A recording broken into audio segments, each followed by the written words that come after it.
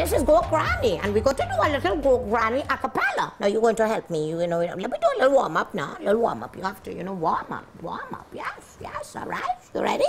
Very nice. All right. You learn to whine, Granny. Well, not really. That's the second song. I'll go work on that. all right. Yes. So when I do, you have to do. Okay? Okay. All right? Because all the young people is have, uh, all the young people dance. Yes. And you have to just follow me, all right? All right. So all you're getting tired up with this old granny. I'm moving slow, but I could walk my body. You ever see a granny go down on the ground and do a 630?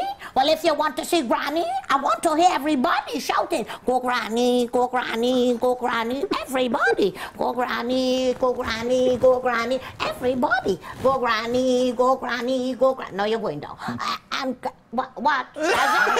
Go down there. I can't go down there, Granny. But if I could go down, you could go down. All right, let me Let's go, All right. all let me- go. This granny do not need no cane. Why, why? The man go keep me balancing. Why, why? Oh, Lord Jesus. For that, that's all you just say. Wheel, wheel. Oh, lot of tired.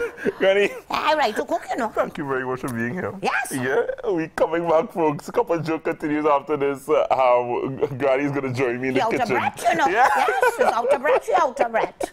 Granny was joining me in the kitchen, and we dishing up an Italian dish called chicken cacciatore. Rolling out that recipe when we come back. Stay with us here on a Cup of Joe. Bless you.